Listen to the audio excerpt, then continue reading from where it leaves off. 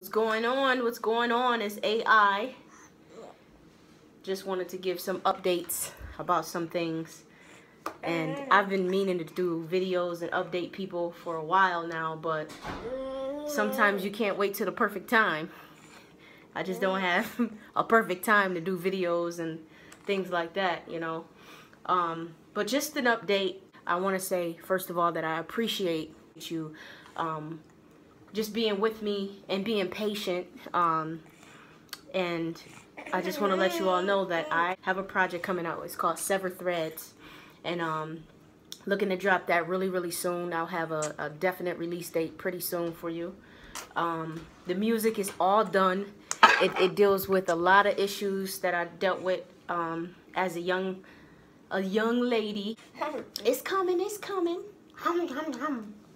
So in this project, it allows me to mourn and just talk about those issues and those habits and how God is the one that can sever those threads.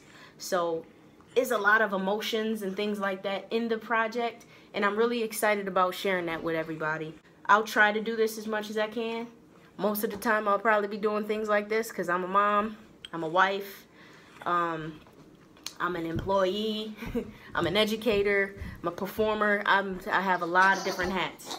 And I really just, in all those things I want to do my best. AI stands for all in. Um, a lot of people know me as Anomaly. I am Anomaly. Focusing on doing my all and going all in. Just wanted to drop in real quick and say hello and just keep you updated. All right, thank you so much. Peace out.